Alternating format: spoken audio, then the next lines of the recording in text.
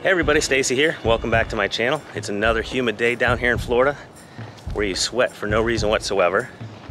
I'm heading over to my neighbor's house. He's got a huge woodworking shop in his garage and he came by the other day and asked if I had any use for any logs. He's got logs sitting behind his barn that are just going to waste. So today he invited me over to help him mill some of that lumber and I plan on using it in the greenhouse. So today we're gonna learn how to use a portable sawmill.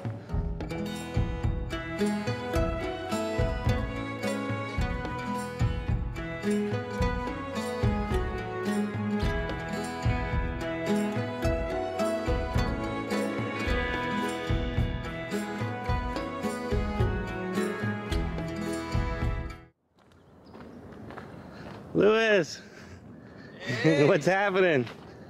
Not too much, man. Just cutting some log. Wow. Look at that pallet. You must have been cutting all night and day to get that much sawdust. wow. Oh just my gosh, that's beautiful. It's just from yesterday. Whoa. Luiz has got a YouTube channel too. What is what's the name of it? Well, it's in Portuguese. It's in Portuguese. yeah. Oh, he's got a Portuguese YouTube channel. All right. Yeah, yeah. It's uh, it's called uh, recomeçar. You know, uh, it's like you might have to spell that. it's restart. It's re- Restart. restart. I'll put a link so if you guys Yeah. want to check them out. So this is a bandsaw. And how big can that cut? That looks what, about 20 inches? The widest you can cut is 21 21? from like from side to side. Yeah. The log itself, it can be up to 26 inches. Okay.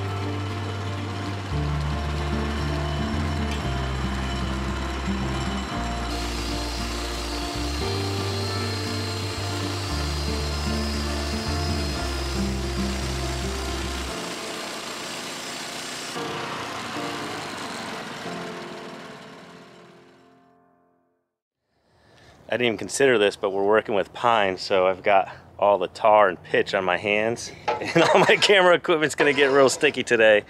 So, before we do the next log, we're clearing off the tracks of the sawdust so the mill can push a little bit easier. So this, this adjusts your height, right? Yep.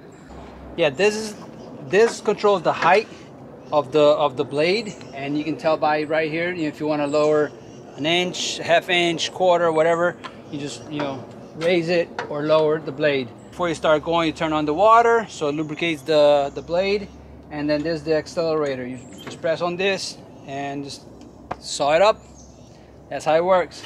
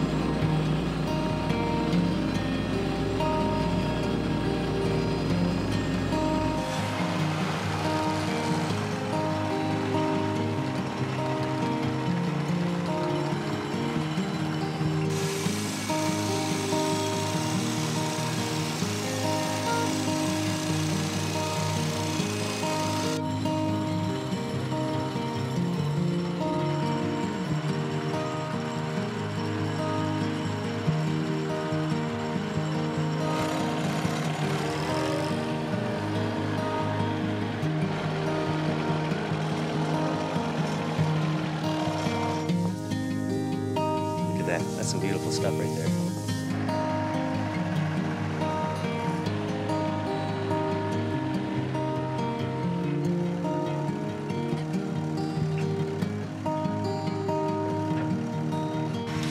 Luiz gave his daughter Isabella a job to measure the width of all these boards and find out the linear feet that we have if we stacked all the boards side by side.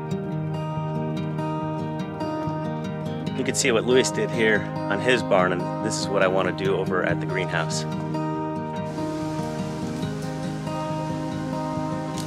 132 plus 120 plus 154 plus 253 120 63 117 132 and 72 that's inches. 1,163 divided by 12 96.9.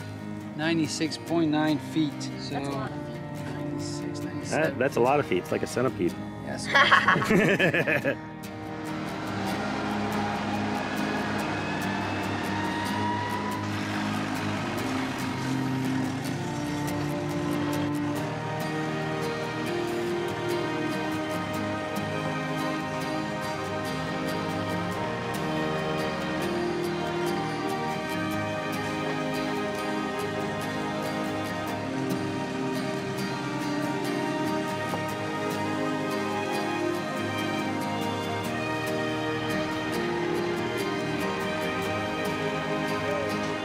Well, we got over 100 linear feet of wood to use on the greenhouse, thanks to Luiz. Thank you very much. You're welcome That was friend. fun. I yeah appreciate it.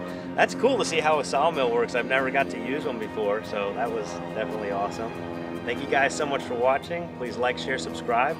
Check out his YouTube channel. I'll put a link in the description below, and I'll see you next time. Yeah, and uh, just so you guys know, it is in Portuguese. My channel, my main the channel is mainly in Portuguese, but I am gonna make videos in English as well for the American folks. Uh, so just stay tuned, and uh, you, you'll get good uh, good info there.